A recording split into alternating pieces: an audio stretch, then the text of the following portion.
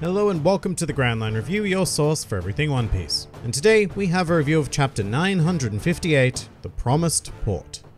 So right at the outset, I feel like this chapter is going to get an undeservedly bad rap because it's in a pretty bad position. Almost the worst imaginable scenario for any individual chapter, actually. Because first of all, it had the very unenviable job of following up last week, which exploded in the global One Piece fanbase, and there was no chance of this coming to equal or surpass that sort of pure hype. But in addition to that, this also happens to be one of the rare short chapters as well, and my god, it's amazing what four or so pages can do, because I just blitzed through this week and didn't even realize it was over until my browser refused to give me another page of the drug I crave so dearly. But finally, this was also the last chapter before a break. So the stars really aligned to make sure that this week was as met as possible. And I can't lie, by the time I realized the chapter was over, I was left feeling just a bit empty. Kind of like how the Red Scabbards were feeling during the chapter, I guess. With that said, there was a lot of good stuff this week that I did enjoy, but I think it was presented under the aforementioned undesirable circumstances circumstances. There was, however, one thing that I really strongly did not like, but we're going to start positive, and that is right at the beginning, oddly enough. Odd because I don't think I ever start these reviews at the beginning. But I love the opening with Oden, primarily because it was a nice, smooth transition from last week, where the endless hype was brought back around to focus on Wano and Oden specifically. So starting this chapter with a bit of his time aboard the Oro Jackson was a great move to lead us into Act 3. Plus, there's definitely no complaining from me anytime that we get to see the Roger Pirates, which very notably, in a post-Stampede world, does not not include any image of Douglas Bullet. So it looks like he'll probably be remaining a film-only villain and not entering the canon, just like Zephyr and Tesoro. It was a real treat to see the Oro Jackson itself though, especially presented in that beautiful panel with the sparkling water. It's such a simple device but so effective, and I think the sparkling water actually adds to the idea of nostalgia, and that this was something that took place back in the good old days. But the best part about seeing the Oro Jackson is always being reminded that there is a giant egg aboard the ship and perpetuating the mystery of what it contains. My favorite panel of this entire flashback section though is definitely seeing young Shanks and Buggy. Shanks in particular because in his more youthful days, he just bears so much similarity to Luffy, and in general it's, you know, it's just rare to see him with two arms. And of course it's always good to see Buggy in the hopes of the eternal question of how he managed to maintain himself as a Roger Pirate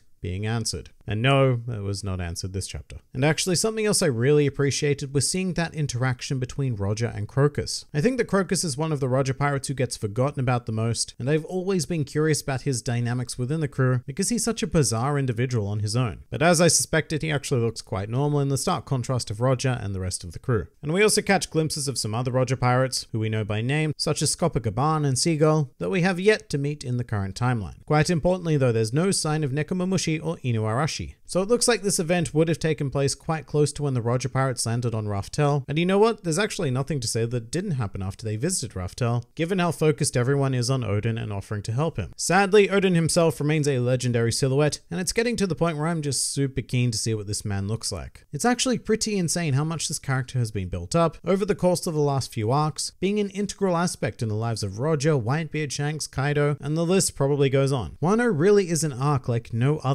Like Oden isn't your standard ruler like say Cobra or Riku, who are all very important within the world no doubt, but Oden and therefore his legacy are so deeply rooted in the core of the One Piece world. So as much as Wano is a country isolated from the rest of the world, I suspect that what happens here is most certainly going to reshape that existence as we know it. Oh, and something else, while it's difficult to tell from a mere silhouette, it doesn't look like Oden is wielding either of his blades. So either he just isn't carrying them aboard the ship, which seems a reasonable enough assumption, or he got them after returning to Wano. And whatever the case, I suppose we should return to Wano now, and in glorious news, this chapter actually provides us with one of the most stunning panels of the entire arc in my opinion, which is the one that features the Red Scabbards looking upon the restless seas in the rain. And this is artistic gold. The waves and the wind effect are wonderfully drawn, both beautiful and incredibly intimidating, and the figures standing upon the shore look absolutely desolate, as if all hope in this world had been snatched right from under them. And I have to admit, this was a pretty shocking start to Act 3. I think we were all very much universally on board with the simple idea of, oh, well, I guess we're going to launch the invasion now, because things surely have to start going in our favor at some point in this arc right? Well, I guess not. What I also don't really get is that Kinemon said in chapter 955 that they needed to reach the port before everyone else. So logically, I don't know why they'd actually be surprised that nobody is there when they made a deliberate move to be the very first people to arrive, but alright. That's not the only inconsistency with the chapter though, because we also have a number issue. Previously, in chapter 955, Kinemon stated that they would be going up against an army of 30,000. However, in this chapter, both he and Orochi clearly state the number 40,000. But Previously, Kinemon even broke it down though, actually stating that Kaido had 20,000 troops and that Orochi's forces made up about 10,000. So this one has me slightly stumped. It's entirely possible that it was an error or retcon made by Oda, because both of which, and I don't want to use the word common, but are commonly seen in the magazine release of the chapters. So for example, the 30,000 number may have been an arbitrary decision made by Oda, and then after the chapter was published, he realized that no, the army needs to be 40,000 strong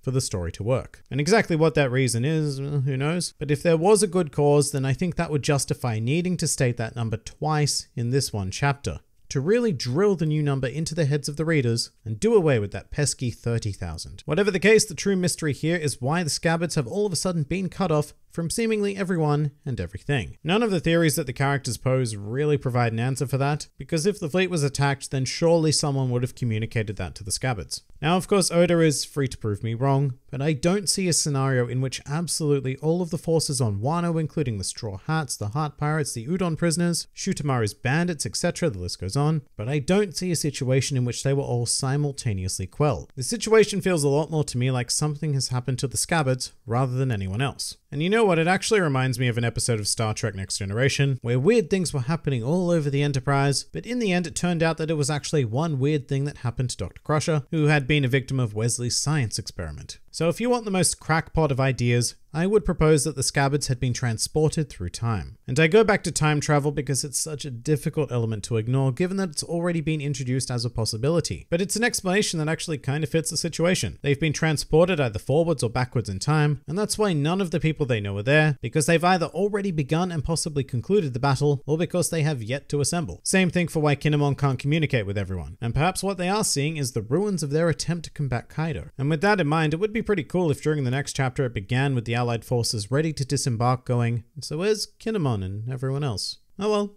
off we go. So there's one idea, but there are bits of evidence that point towards it being something else. One of which is when the chapter went out of its way to state that the weather of Wano can vary greatly from place to place, but at the same time that could be a deliberate red herring from Oda. However, there is a stronger contradictory force, which is the end of the chapter focusing on Orochi, implying that he is the one who is sneakily responsible for this, which you know can make sense, because he did get information beforehand, and if there is a traitor then they are still at large. I don't know though, I just have a feeling that this desolate situation is going to be completely flipped on its head somehow somehow, and that doesn't have to be time travel, in fact it more than likely isn't, because every time I've proposed something along those lines it's never been the case. However, a special point was also made during this chapter to note that it would be a full moon tonight. So given that that is a narrative requirement for the Minks to be in action, this raid is definitely happening, one way or another. So look, in retrospect, this chapter is actually incredibly intriguing. I think it does need a reread to let the sheer strangeness of what is occurring to sift in, at least for me, because after my first read, I was like, eh? And a lot of that has to do with the ending. So I mentioned earlier that there was one thing about this chapter that I really didn't like, and that was it. My primary complaint is that it didn't feel like an ending. After reading the narration boxes, it felt to me like we were going to another page and that was going to contain the dramatic cliffhanger. But instead, the flow stopped partway through. Kind of like putting a full stop in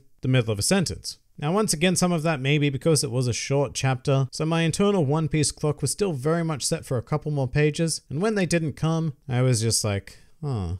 And some of it may be also that I find ending on Orochi's face highly unsatisfying. He's one of the most unlikable characters that Wano has to offer, and a close-up of his smug Wario moustache isn't that great a cliffhanger for me, because it doesn't fill me with anticipation or fear, or any kind of emotion leaving that sort of desired impact. What it does is it leaves me feeling mildly annoyed, because Orochi's face was the very last thing I saw. And some people might and probably do feel very differently here, but to me this chapter feels like it's missing an ending, and every time I've gone through it, it's just left me with a weird weird anticlimactic aftertaste. Oh, and the fact that there's a break immediately after this does not help at all. The break would have been much more welcome after last week's chapter, because that was something that really needed digesting, and we hadn't begun Act 3 yet, whereas this week just begs to move immediately onwards because we have just dipped our toes into Act 3. One more great thing about the chapter though was Kinemon's speech, and this is a moment that I can see being done to perfection in the anime. Emotional cries for help are always heavily enhanced, but even reading the manga gave me a very I want to live moment from Nico Robin vibe. And it's nice because I've never seen Kinemon this desperate. He's pouring everything his heart has to offer out here, except unlike Nico Robin and Enies Lobby, nobody is there to respond. It portrays such overwhelming loneliness and despair, and while I don't like Orochi's face, it is contrasted nicely against his pure glee. So yeah, good chapter with a great opening, beautiful art, a hint of intrigue, but a highly disappointing ending that will be lingering over me for the next two weeks. And that pretty much does it for chapter 958. If you enjoyed this video and the content this channel produces in general, then please do consider donating to the Grand Line Review Patreon because the support of all of you amazing people is what continues to make this channel possible. And if you'd like to see more videos like this but applied to other anime and manga series, then please do check out my second channel New World Review for all of your wider needs. And if you'd like to join the fun at any time, then please do head over to my Discord server where a wide array of shenaniganry takes place on a daily basis. And finally, please do comment with your thoughts on the chapter. This has been the Grand Line Review, and I'll see you next time.